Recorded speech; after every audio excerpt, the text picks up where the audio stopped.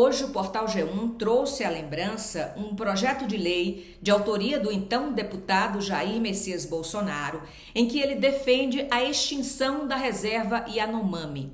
O projeto de lei foi apresentado em 1993, ou seja, um ano depois da demarcação do território indígena.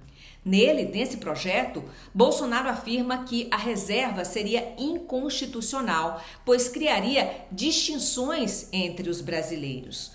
O PDL 365 lembrava que a demarcação indígena reservava um total de 12 mil índios, quase 10 milhões de hectares, numa área, entre aspas, riquíssima em madeiras nobres e metais raros.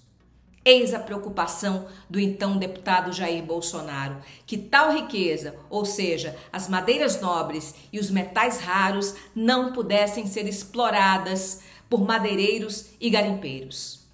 Anos mais tarde, num discurso na Câmara, em abril de 1998, Bolsonaro chegou a defender abertamente o extermínio de indígenas. Naquela ocasião, ele disse o seguinte: abro aspas. A cavalaria brasileira foi muito incompetente. Competente, sim, foi a cavalaria norte-americana, que dizimou seus índios no passado e hoje em dia não tem esse problema em seu país. Fecho aspas. Essas foram as palavras do então deputado Jair Bolsonaro, que na juventude chegou a ser garimpeiro, assim como o pai, que, segundo uma reportagem do The Intercept Brasil, garimpou ouro em Serra Pelada nos anos 80. As promessas de facilitar o garimpo ilegal e a extração também ilegal de madeira ajudaram a elegê-lo presidente da República.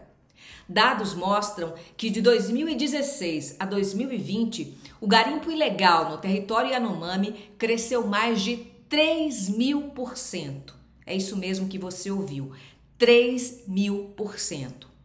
Nos últimos quatro anos, a APIP, que é a Articulação dos Povos Indígenas do Brasil, denunciou 21 vezes o governo federal, ao governo federal, a invasão de garimpeiros à terra Yanomami. Nada foi feito. O ex-presidente foi denunciado repetidas vezes ao Tribunal Internacional em Haia por desmatamento, por genocídio de indígenas e por crimes contra a humanidade. Agora as peças se juntam, né? Não há coincidência, assim um projeto de poder econômico. E para efetivar esse projeto, entrou em curso um outro, de extermínio. Só não vê quem não quer. Eu sou Raquel Sherazade e essa é minha opinião. Boa noite, Brasil. Tchau.